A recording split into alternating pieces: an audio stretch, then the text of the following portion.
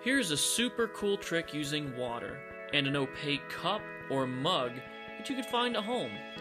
What we're going to do is take the water and pour it inside of the cup like so. You can clearly see it going in.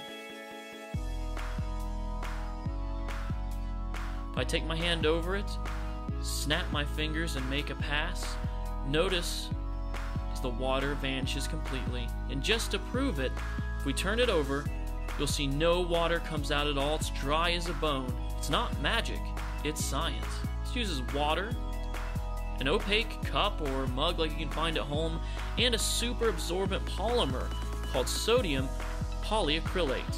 Now, for the sake of explanation, let's use a clear glass. We're going to take the sodium polyacrylate and put it into the glass just like so, and then if we just add water, the sodium polyacrylate acts like a sponge and absorbs moisture. When mixed with water, the compound turns into a solid gel.